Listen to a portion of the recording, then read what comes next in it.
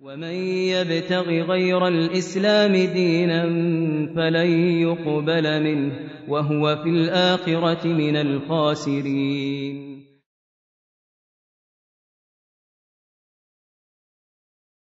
كثير من النساء يحتفلن بأعياد الكفار ولا يجوز الاحتفال بأعياد غير المسلمين ولا يجوز تهنئتهم بها أو مشاركتهم فيها بأي نوع من أنواع المشاركة. لكل جعلنا منكم شرعة ومنهاجا.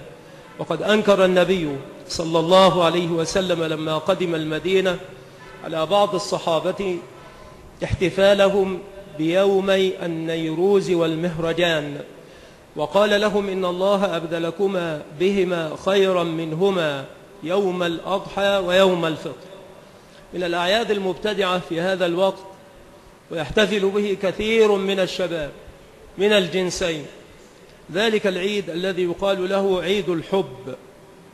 وفتن به كثير من الفتيات والنساء وهو عيد وثني مبني على أسطورة خرافية لراهب كافر يقال له فالنتين.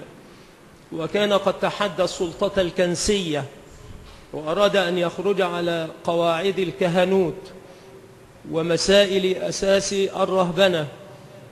فصار رمزا عند أولئك الضلال ونقل بحرفه إلى المجتمع المسلم لكي يصير رمزا عند المسلمين والمسلمات وإنا لله وإنا إليه راجعون.